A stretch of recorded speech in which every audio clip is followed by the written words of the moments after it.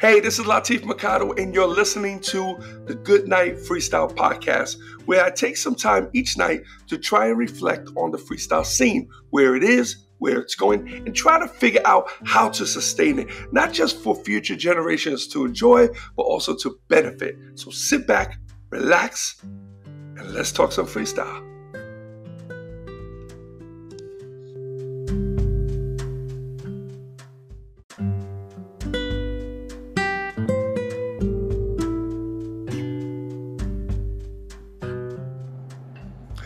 Hey, what's up, everybody? It's Latif, and welcome to the Good Night Freestyle Podcast. And this is episode 27, and welcome.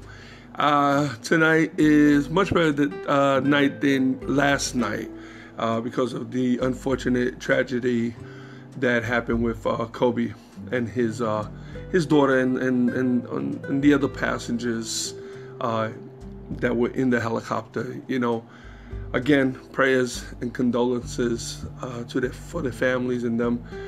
But um, but today, you know, we move on. It's what life is about, and uh, we all experience this where we lose people, and it feels like it's the absolute end of the world, and life continues. You turn on the TV, and there's still TV shows and people are still driving and people are still going to work and people are still going to school and people are still making plans and people are still going out to party and having celebrations and graduating. Life goes on. So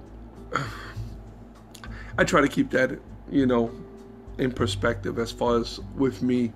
Um, I'm I'm older now. I mean, well, I'm 53 years old. It's not really old. Back in the days, I probably would have been dead already. I think the life expectancy back in the days was like 35 years old.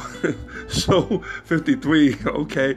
I think we're at like, we're like, I don't know, 79, 80 now. Uh, who knows? But uh, except like I have an aunt right now, I think she's 96 and she still drives. you know what I'm saying? So you can't really, uh, you know, my mom passed when she was 68 years old, uh, lung cancer. She was a smoker. Even though people, you know, pass from lung, uh, they get uh, lung cancer and don't even smoke. So, Eh, you know, there's no telling. There's no telling. I mean, how do how do we do? You know, worry about it, worry about it every single day, and you know, I worry about it a lot. But you know, now my my, my children are older. They're grown. That they're, they're basically out the house. Well, almost. my daughter's out the house, but she's in the army. So I don't know. She she's in Germany right now. So will she be back after the army? I don't know. Uh, my son comes and goes. The only problem is every time he comes back, he brings another kid with him. So he's on number four right now. So he went. He left one time, came back with a with a with his girl and a kid. Went back out, came back with two. so, but it's all good. It's all good. The doors are always open to the kids, you know. But you know, one of the things I always uh, prayed for and I always hoped for was that, you know, God forbid if anything were to happen to me, I just want my kids to be grown and to be on their own and to be be able to stand on their own two feet and don't have to depend on me. I didn't want to leave anyone dependent on me. Um, right now my biggest concern is my wife you know and my grandkids too but they're good they have their parents so you know even if things are rough and you know they're still going to be fine They'll, everybody will pick pick it up in, in time everything will come together you know right now santana uh, which is my oldest granddaughter. She's eight. She stays with us only because she's uh, she goes to school here. Um, the school district where we're at is a lot nicer than where they're at, and where they're at right now is temporary. So no sense in putting her in school there when their plans are to come this way. So we have her in school, and then in the summer she goes back with them. But she goes with them every every weekend, every Friday. We take her there and we pick her up Sunday evening. So we're good. She, she has the best of both worlds, you know. So. I'm cool. So you know, yeah. So you know, I live for them. I live for all of them, and uh, um, and it, it's a blessing. It's a blessing to have family and to have kids and grandkids, and you know, some people don't have them, but you know, they had there's other qualities. There's other things that you know was given to them in life that you know maybe I don't have. So. You know, God finds a way of making everything fair for everyone. We just got to find it sometimes. Sometimes the blessings, we, we don't know them, we don't see them they're disguised or we kind of overlook them.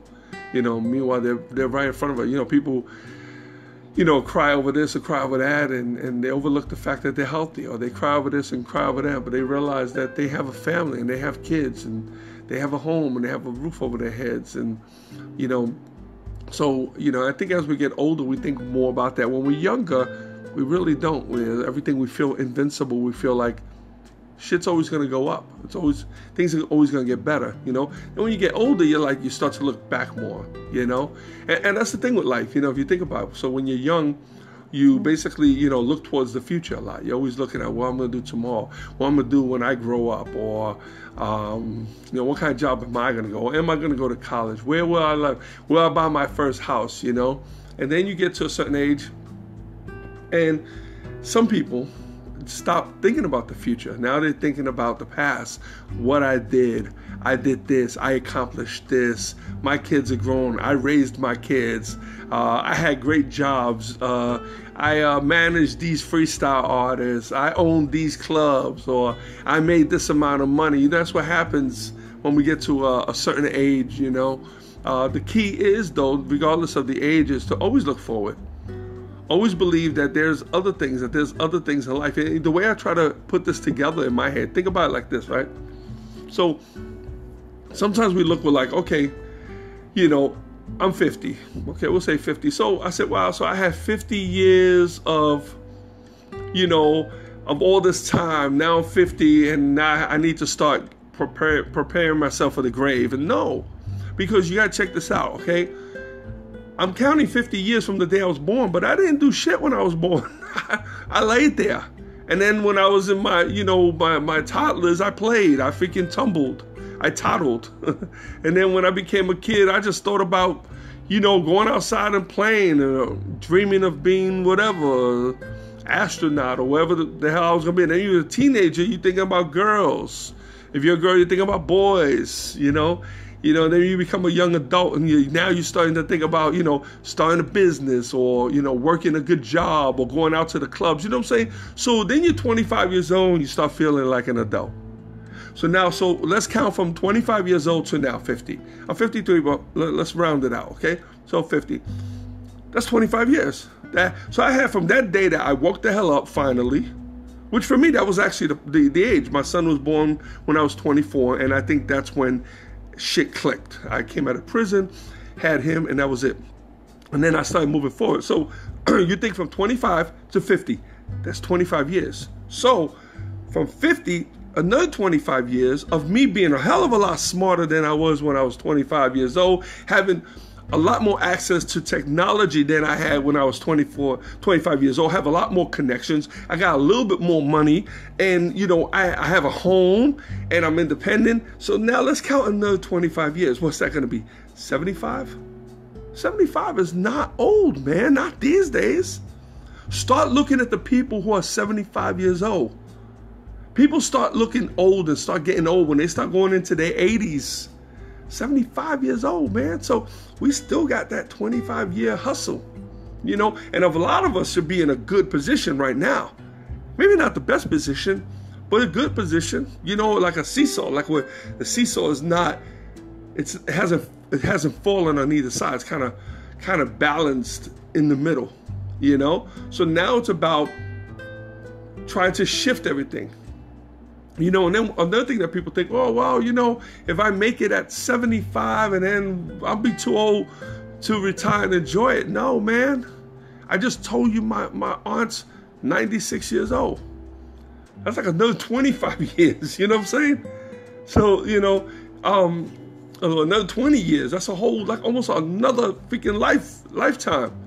So you got that time. Yeah, you know, depending on how we take care of our health, you know, is the quality of how we're going to run with it. But you know, but that's when you want to, you know, enjoy. That's when you want things to calm down. You want you want to be able to sit back and maybe take a trip and relax. If all you want to do is sit on your porch and you know, or be on your boat on the lake or whatever, and that's all you want to do, then you should be able to do that in your in your twilight years. You know, so maybe maybe you know you're not going to want to hustle. You think now, oh man, I'm gonna be too too tired. I'm not going to be able to do anything. Well, you know, or be too old for you know. well, you might not want to do any of that. You might be content and say, hey, kind of just want to chill. I just, I want to fish today. I want to go for a walk today. I want to sit on the beach today. I want to take a cruise this week. I want to go to Italy this month. I want to take a trip to Fiji Islands, to the Fiji Islands. You know what I mean? So, you know, that's that's you know that's that's just the way you know we we look at things. You know, we we always think that we're too old. I, mean, I bet you anybody who was in their 30s started to feel old and thought about when they were 20 and say, man, I should have did this when I was 20 years old. Look at me, I'm 35, I'm old now. And then you turn 42 or 45 and you look back and you say, damn, 35 wasn't old at all. I was actually still, I was still young. I still had like my whole life. Right? And then all of a sudden you become, you think you're old there. You're like, man, for, damn, I had my whole life at 35. Now I'm 45. Damn, I'm old, man. I'm old. Then you turn 55. And you look back at that 45 and you're like, wow, I can actually call, I could have been called a kid still at 45. I know it sounds weird, but it's true. Think about it. Put yourself in that place. Just think about it. So now I'm 53. Am I going to say the same thing when I'm 60 or when I'm 65? Probably. So what I decided to do, and it's crazy because I figured this out just recently, like a few years ago. Like I think before I hit 50, I kind of I caught on to this.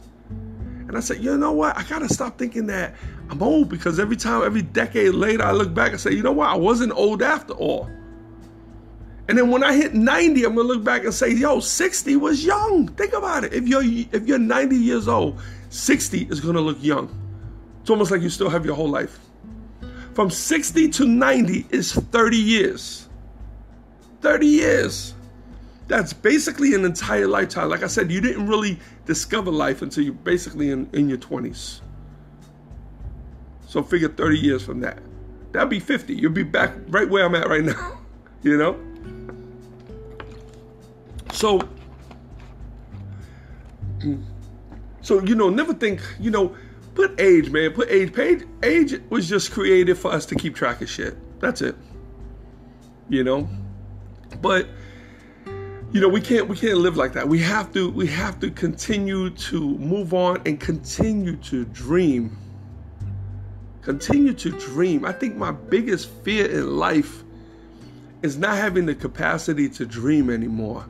Is to not have any hope anymore. These are the things that really scare me.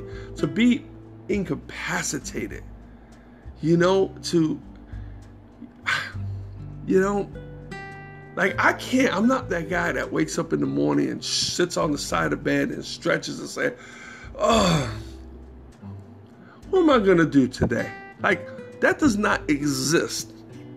That that has never existed in my life. I'm dead serious.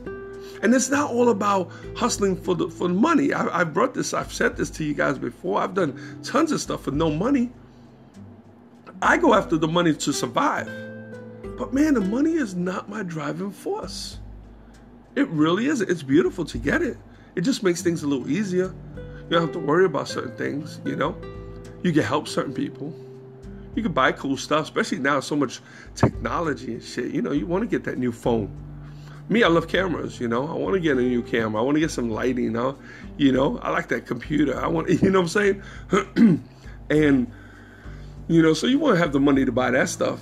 But th- that's not you know that's a necessity, man. That's out of you know I want to get those tools. I want to get this or that. You know, it's, it's cool, but I don't. You know, I want to have them, but I don't. I'm not hustling for them. I'm instead. I'm hustling for happiness. I'm hustling for the ability to change the world in any way, capacity, even if it's a little portion of the world. Remember, when you're changing the world, doesn't mean you're changing the entire world. If you are doing something for homeless people in New York City, you're not changing the world, but you're changing somebody's world. You understand? Somebody's world is being is being changed. It's being altered, and it's because of you. But of course, we can't change the entire world.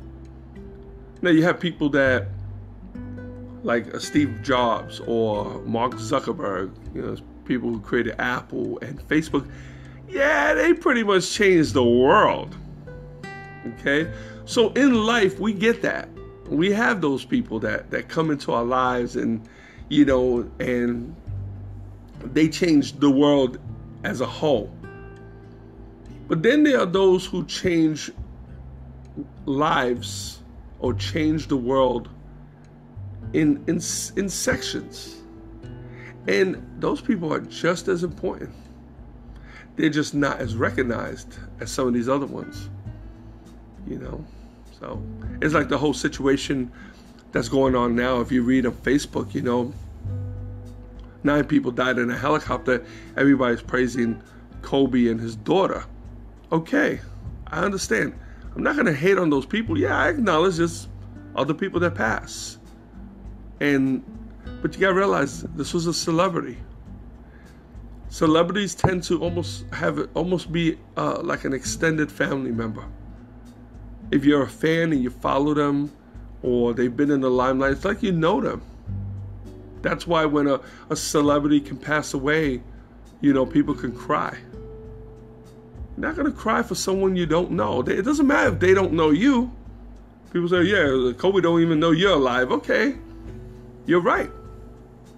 He doesn't. But people know that he was alive. And people were fans and people they loved his personality and they loved his game. You know, they they just loved that, you know?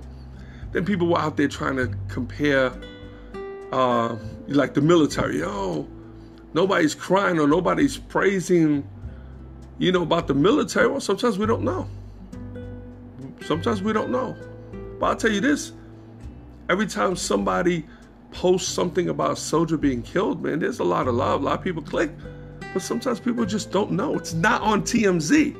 It's not on CNN. It's not on, you know, NBC News. It's not on these things, so we don't know unless it's a family member. So for anybody to get heated because nobody nobody's acknowledging the other people, it, it's like, yo, give them time. They don't know these people. They don't know who they are. Give it a minute. Give them a day.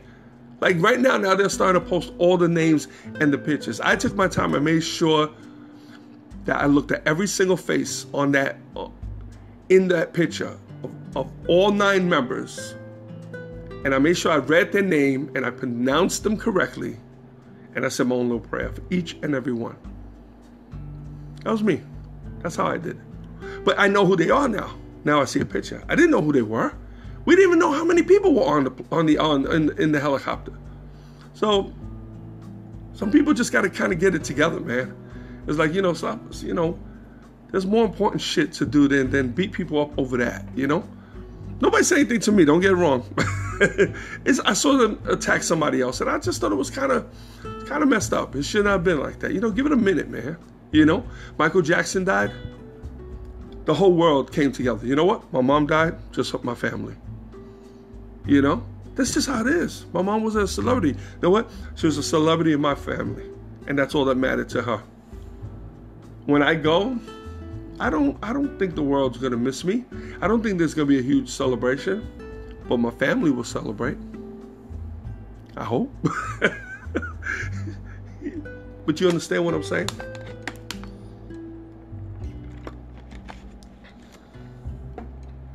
But you know, celebrities, actors, athletes, speakers, musicians,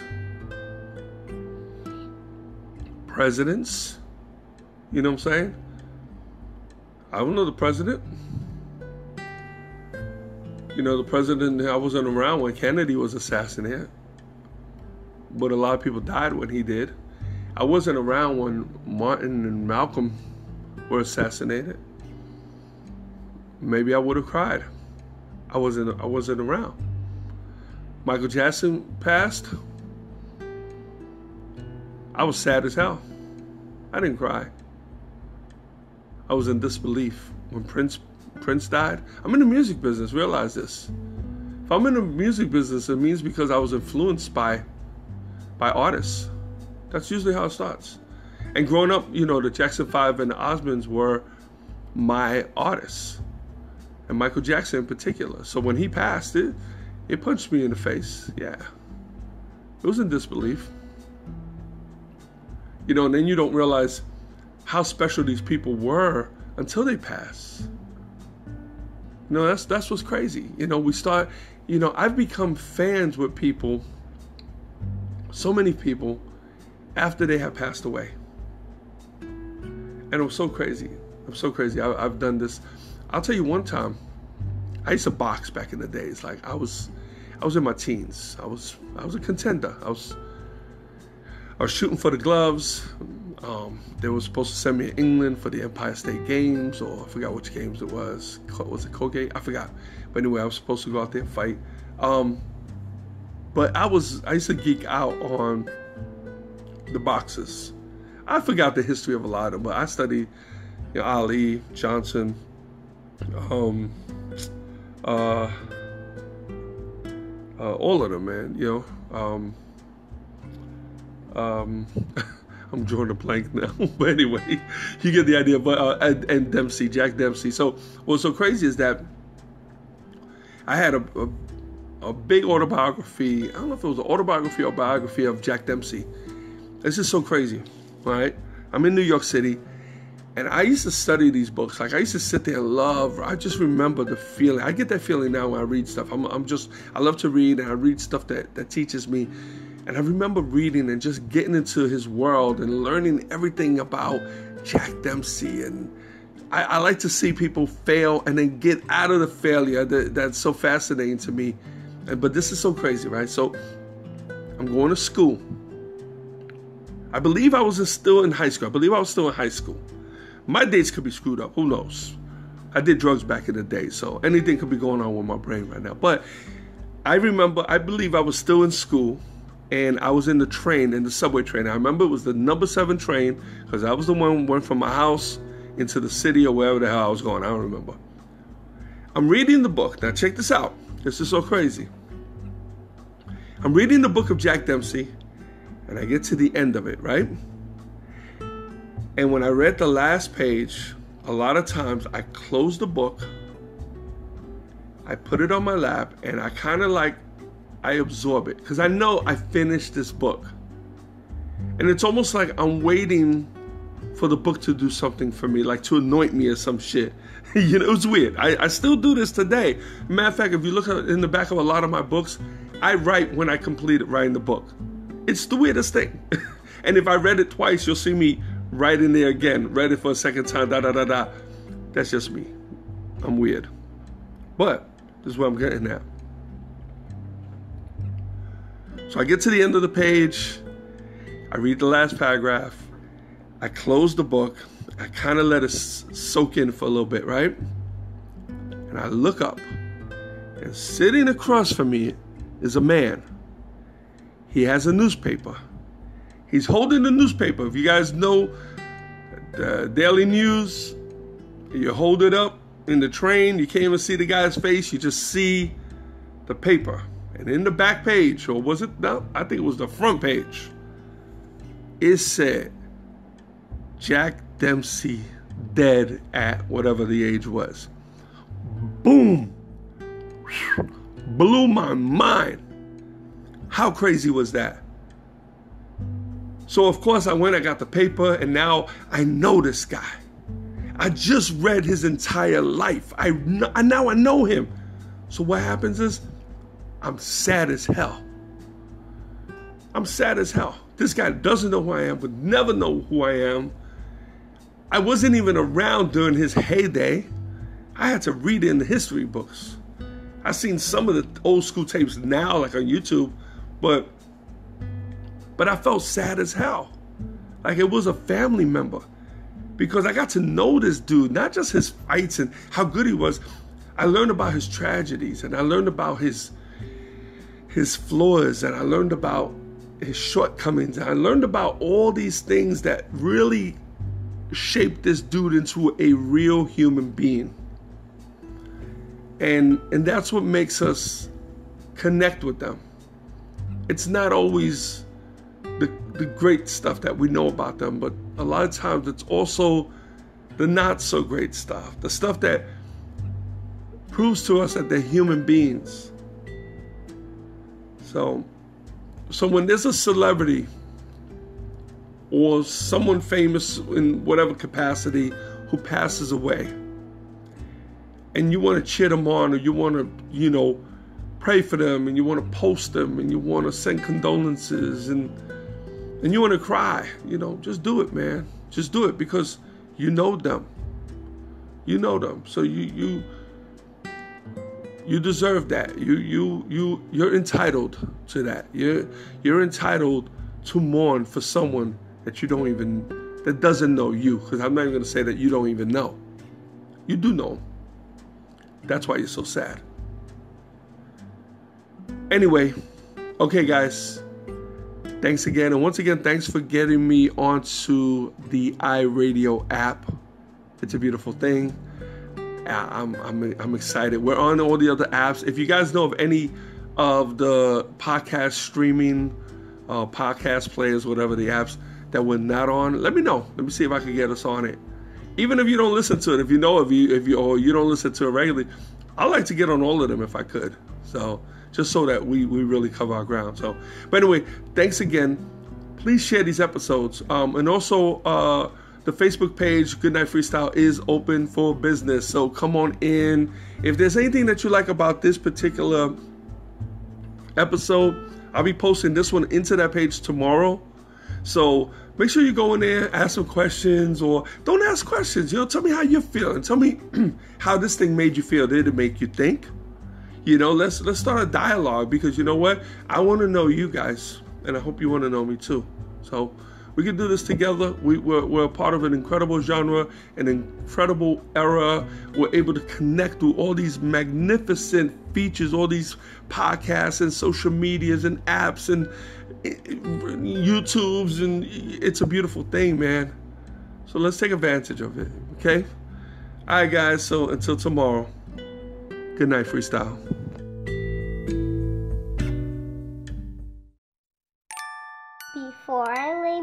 To sleep, I pray to hear a freestyle beat. For if I die before I wake, I hope to make it to the break.